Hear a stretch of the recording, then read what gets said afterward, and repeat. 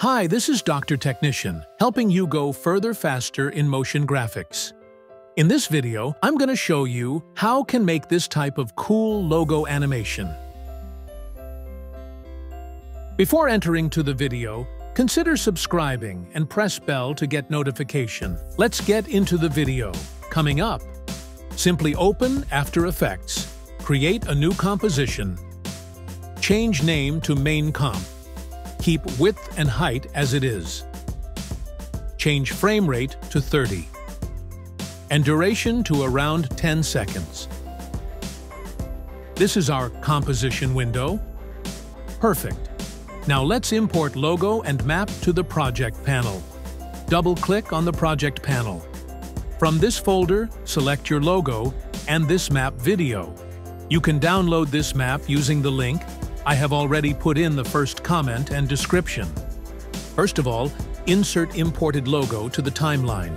You can see this a big size logo. Let's adjust it. Just press S on the logo to open scale and adjust the scale to a proper size. For me, this is okay and align the logo to the center of the screen. Then pre-compose this logo. Just right-click on the logo and select Pre-compose. And put Name Logo. Then tick this move all attributes into the new composition. Then insert Map Video to the timeline. and again pre-compose this map. This time, change name to Map. And again, make sure this option is ticked. Then change track matte of the map to the logo. Here make sure this alpha matte is selected. Then select the map layer and search an effect, CC Blobbylize. Add this effect to the map. From Effect Control, expand blobbiness. Change blob layer to logo. Change value of softness to 15. And cut away to 40. Look at the logo. Perfect. Again, search another effect, CC Glass. Add it to the map. Then expand surface of the effect.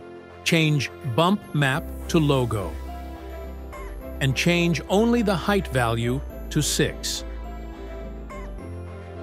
Let's make the screen a little bigger. Look at Result. Let's get into the next step. Right-click on the timeline and create a new adjustment layer and place it on the top of the layers. Then select this layer and add the effect, 3D glasses, to this layer. From Effects Control, change left view of the effect to Adjustment Layer 1.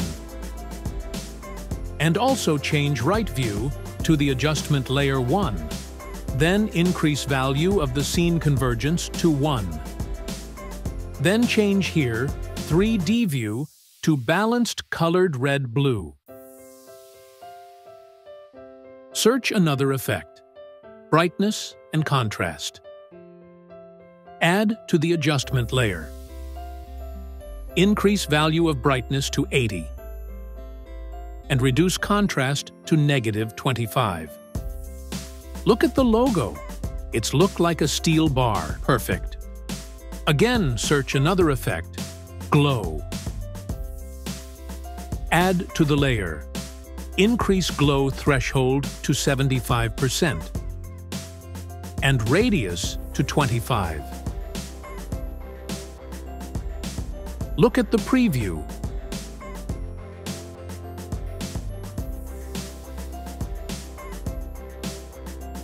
Perfect. Now let's add some animation to this logo. Select the map layer. Press T to open opacity. Then place time indicator on the 2 seconds. Create a keyframe here. Move time indicator to the beginning. Then reduce opacity to 0. Change this first keyframe to Easy Ease. Then select this keyframe and open Graph. Change Graph like this. Perfect.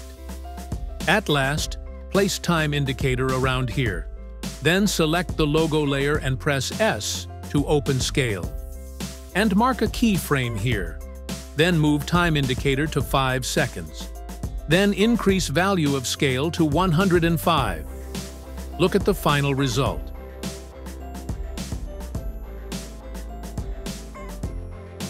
Perfect. These are the steps to make this kind of logo reveal animation.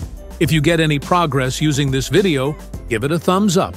And definitely subscribe for more videos like this. And again, this is Dr. Technician, helping you go further, faster, in motion graphics. And until next time, keep crushing it. We will talk soon.